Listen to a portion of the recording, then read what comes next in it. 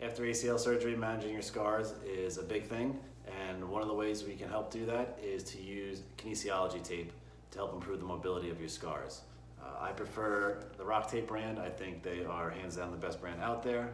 Uh, it'll stick the, long, the best and it'll last the longest. So you're just gonna sit in a chair.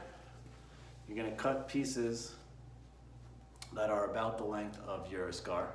I drew on a scar there. And remember to round the edges so that it doesn't roll up. Okay. So what you're gonna do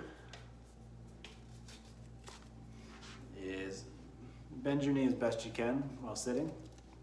Peel off one of the ends. And you can start either at the top or the bottom, it won't make that much of a difference.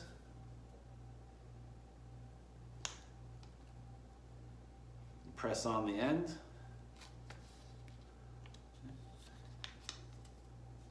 Get a decent amount of tension on there and then just lay it over the scar.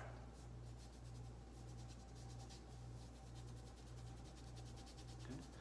Now for most people that one strip is, is all they need to help out with the patellar tendon scar if you had a graft that way.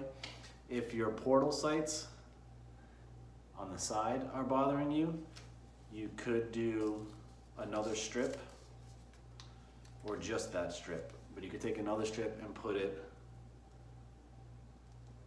that way